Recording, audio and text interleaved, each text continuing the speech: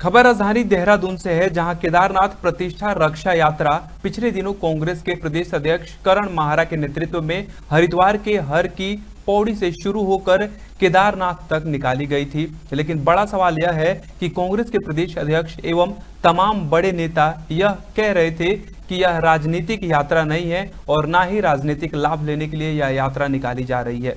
वहीं अब इसकी पुष्टि कांग्रेस की मुख्य प्रदेश प्रवक्ता गरिमा महारा दसोनी ने यह कहकर कर दी है कि अब केदारनाथ यूपी चुनाव की तारीख भी फाइनल हो गई है और कांग्रेस ने जो केदारनाथ प्रतिष्ठा रक्षा यात्रा पिछले दिनों निकाली थी, इसका कहीं ना कहीं लाभ केदारनाथ उपचुनाव में भी देखने को मिलेगा।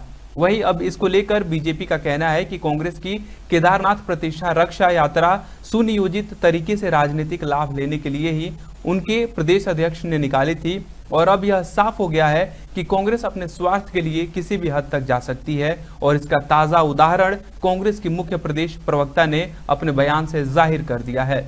वही अब देखने वाली बात यह है, चाहे बीजेपी हो या कांग्रेस, दोनों ही सियासी पार्टियों केदारनाथ उपचुनाव को लेकर तैयारियों में लग गई हैं। किस पार्टी को यात्रा और किस पार्टी को जनसंवाद से जनता का समर्थन मिलेगा? यह आने आने वाली 23 नवंबर बताएगी। देहरादून से ब्यूरो चीफ अवनीश गुप्ता की रिपोर्ट। हमने शुरू से ही कहा था कि कांग्रेस की केदारनाथ प्रतिष्ठा रक्षा यात्रा केवल और केवल राजनीतिक लाभ के लिए है और राजनीतिक लाभ भी उनको नहीं मिल पाया।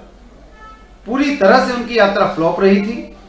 आपस में कितनी उनकी जो है, उस यात्रा के दौरान मारपीट हुई, गाली गलौच हुई, गुटबाजी हुई, कितने वीडियो उनके जो है, स्विमिंग पूल में ऐशो आराम करते हुए वायरल हुए, ये सब उत्तराखंड की जनता ने देखा। और हमारी उस बात पर अब कांग्रेस की प्रवक्ता गरिमा दसौनी ने स्वयं मोहर लगा दी है। गरिमा जी स्वयं कह रही हैं कि हमें निश्चित रूप से अब केदारनाथ उपचुनाव की जब घोषणा हो चुकी है, जो यात्रा हमने निकाली थी, उसका राजनीतिक लाभ मिलेगा। जो हम कह रहे थे, वो सत्य कह रहे थे। मैं गरिमा जी का बयान सुन रहा था। एक तरफ़ तो उन्होंने इस सत्य को स्वीकार किया कि कांग्रेस उस यात्रा को केवल और केवल राजनीतिक लाभ के लिए निकाल रही थी। दूसरी तरफ़ वो झूठ का पुलिंदा भी बाँध रही थी। केदारनाथ की जनता का मोह भंग हो चुका है।